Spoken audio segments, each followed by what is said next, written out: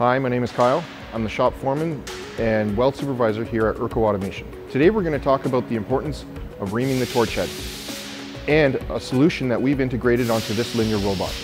Even in automated systems, there are some tasks that typically involve operator involvement, such as reaming the torch head, applying anti-spatter spray, and trimming the wire before the next pass. Cleaning or reaming your nozzle specifically is a very important step to maximize weld efficiency with a welding robot. Not only does it extend the life of consumables and reduce downtime, but a dirty nozzle can be a leading cause for weld defects, failed x-rays, and cause rework. If you fail to trim the wire, you run the risk of contamination due to built-up slag, or even reduce the flow of gas to your torch nozzle. So, as you can see, trimming your wire and cleaning your nozzle are just a couple of simple steps that you can take to improve your weld quality. However, this can be a very time-consuming process. The operator needs to stop the machine frequently and clean the nozzle and the contact tips. And this is not just a once a month type of thing. It needs to be performed frequently to ensure your weld quality. So as you can imagine, constantly stopping the machine to clean the weld nozzle can really work against your efficiency. To keep this linear robot hands-free, we've integrated an automatic reaming station.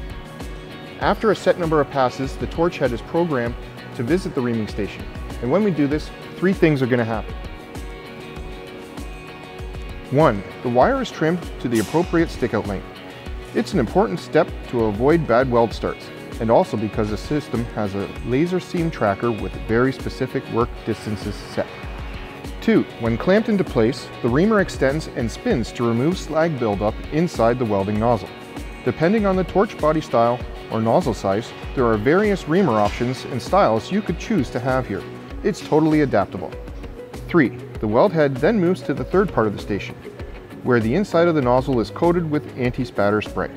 This is a preventative measure to improve efficiency, reduce the frequency of reaming, and reducing waste because it sprays anti-spatter spray directly into the nozzle. An automatic reaming station, like the one on this solution, helps to provide a hands-free welding system.